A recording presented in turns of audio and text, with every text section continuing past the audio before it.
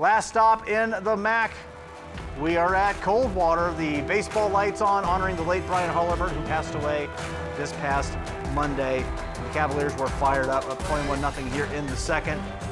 Cavaliers covering the ball there. And then Marcel Blasingame with a screen to Evan Harlemert, who has an opening, brought down just short, however, of the end zone. And then, you know what? That worked pretty well. Let's try that same play again.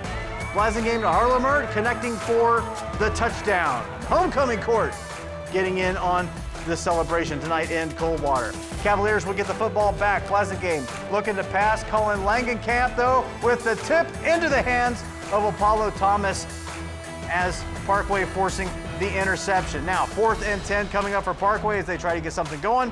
Fletcher Smith looking for Logan Green, finds him, pushed out just short, can't get the first down. It's a turnover on downs.